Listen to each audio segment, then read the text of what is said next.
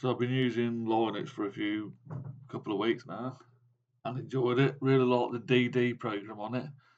And I found out you can get it for Windows, so downloaded it. You get it from chrysocome.net.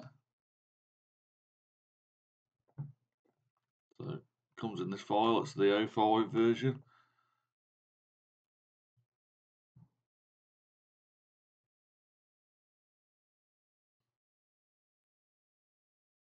So when you open it, just copy them all and put them in your videos or put them wherever you want really. In fact, I've got some in my videos, so I might go into pictures. No, I'll stick with I said. You need it in a file where you can locate it. Then to open it up, you need to go to command prompt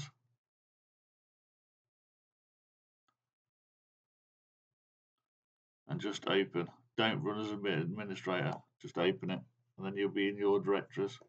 There you go, CD, videos. It's going to jump to your video directory and then you can go DD dash dash list and see if it's working. It is. So it's listed all the volumes. So the one I want to copy to image is this one, I think, D. You just got to remember that number, what it's mounted on. That They're all the same, but they've just got the different D. So you can just go in here, I suppose, and check and D drive.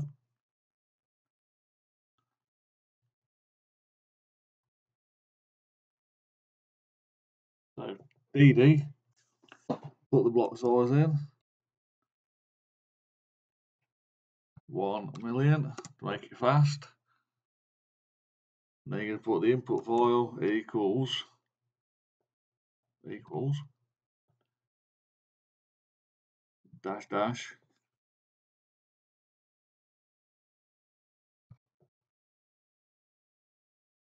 I forget what it was now. I think it was H, wasn't it? No, D. That one. So you're just copying that.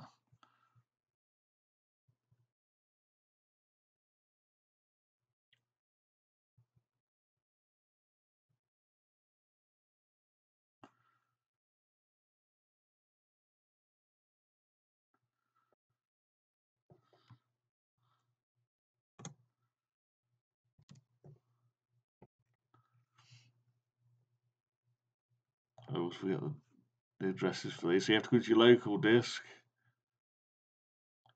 go to users. The one you want to go to, user one, is me. Oh no, not OneDrive. Pictures. Let us copy that address down.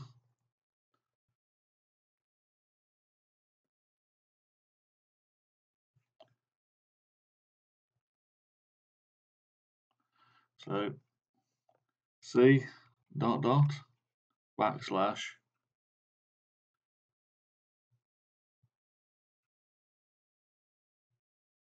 Users. Backslash user one. Backslash pictures. And then create your file. So I was going to put test image USB dot DD. So we've got the where the source, the target, then we'll just put dash dash progress, and that gives us a progress report so you can see what's happening. And then dash dash size is another important one. It checks the size of the source and stops. Otherwise, it will just keep going. I'm told. So that should be it. It should create an image. So I've done something wrong.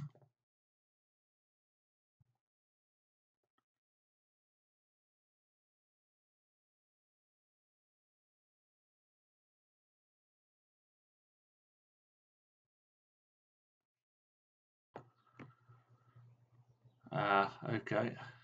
I see what I've done wrong.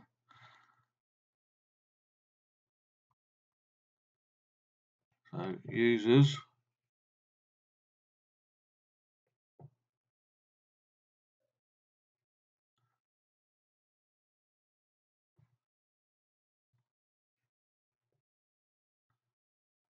There you go, it's going now.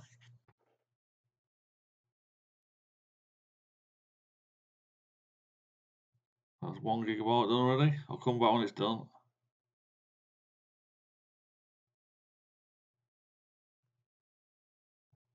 Okay, that's done.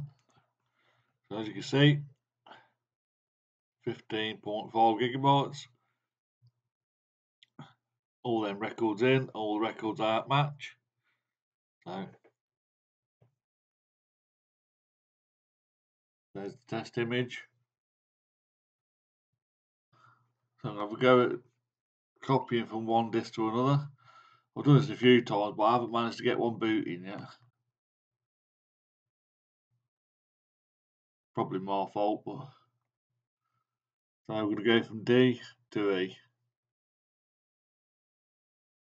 As you know, it's 14.4 gigabytes, and that's 300 gigabytes. So I'm going to go back into CMD. I'm going to start a new one because it's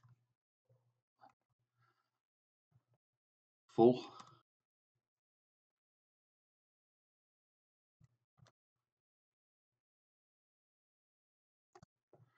Uh, so DD, block size equals 1 million. And then the input file equals, and I completely forgot what they were again. So D to E dash dash dot D no hold on dash dash dot dash I forgot what it is now. So it is dash dash dot dash D double dot. Output file equals backslash backslash dot backslash E. E.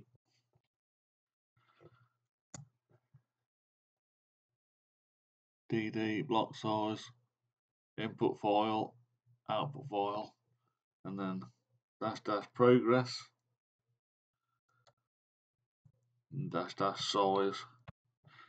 And that should be it. So press enter it should copy it. Yeah go it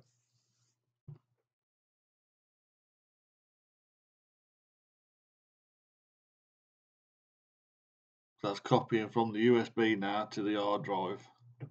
So I'll come back in a minute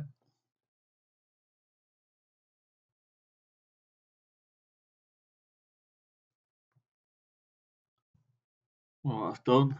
As you can see, all records in that match. 15 gigabyte.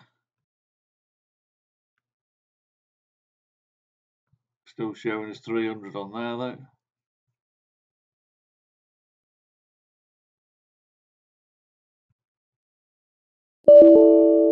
Not accessible either.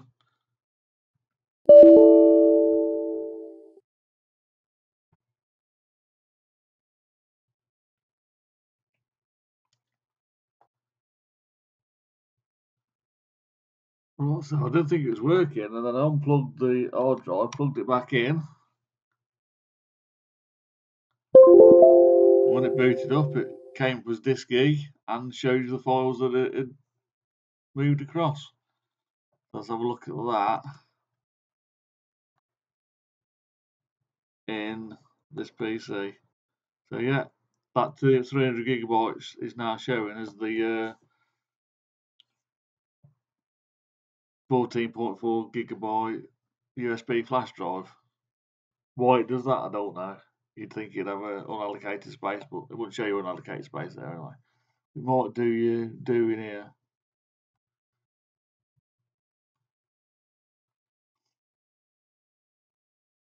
Well, no, it's actually showing you just the normal reading, but that's FAT32.